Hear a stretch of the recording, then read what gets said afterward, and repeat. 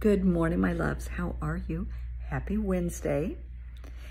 I'm a bit bedraggled. Another long night, but it's okay. my voice is even a little scratchy. That's okay. We're talking perspectives. You can have the bear, the bear can have you. You can have cancer, or cancer can have you. You can have an addiction, or that addiction can have you. You can have a bad day, or that bad day can have you.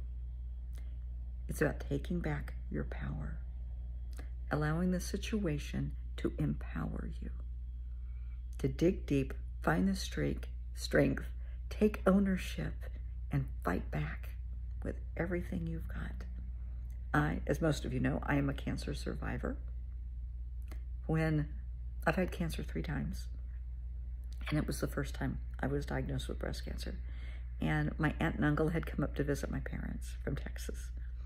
Now, Uncle Joe was a very wise man, and he and Aunt Ann had come up to visit, and I wasn't having a good day, and I kind of, you know, put myself away in the bedroom so I wouldn't ruin everybody's time, and the smell of coffee and food was just too much for me. Uncle Joe knocks on the door and comes in, wants to talk. Okay. And he sat down and he said, Gal, I'm sorry you're going through this. It's not right. But here we are. Now you can have the bear, or the bear can have you. You can have cancer. Cancer can have you. It's your fight. You got to decide right now who's going to win. You got to dig deep and you got to make it happen.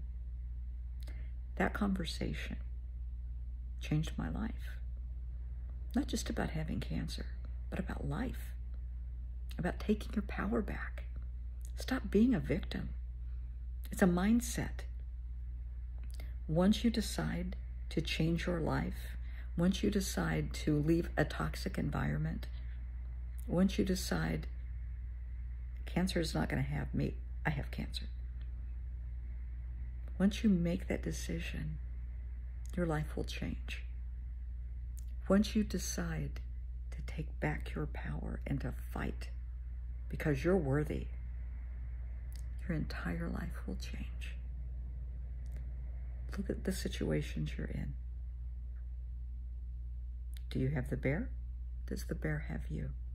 It's a mindset, it's a decision. Choose wisely. You're worthy.